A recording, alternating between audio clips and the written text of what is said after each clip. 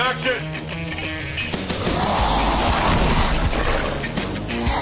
New Moon is going to be stepped up a whole nother notch. Three, two, one. Don't get me upset. We introduced the world of the werewolves, which is also the world of some amazing CGI stuff. Each of the scenes was significantly different, so it's taking all of this technology.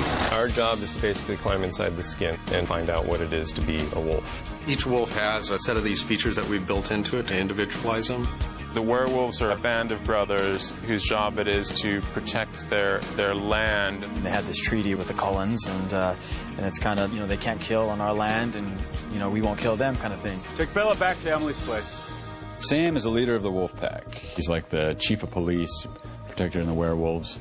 Sam was the first one that turned, and then Paul was second, so I guess he'd be uh, the second in command. What did he tell you? He's a short-tempered, volatile character. Well, the whole wolf pack is very tight bound. They're very close. And we just got this like little tribe, which is how it's supposed to be.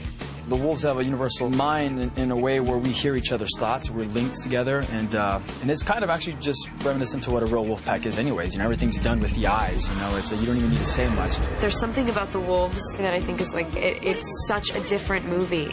It's like all of a sudden this like completely new world has been introduced, and it's more animalistic, more violent. A lot of action. We can't wait to see the end results.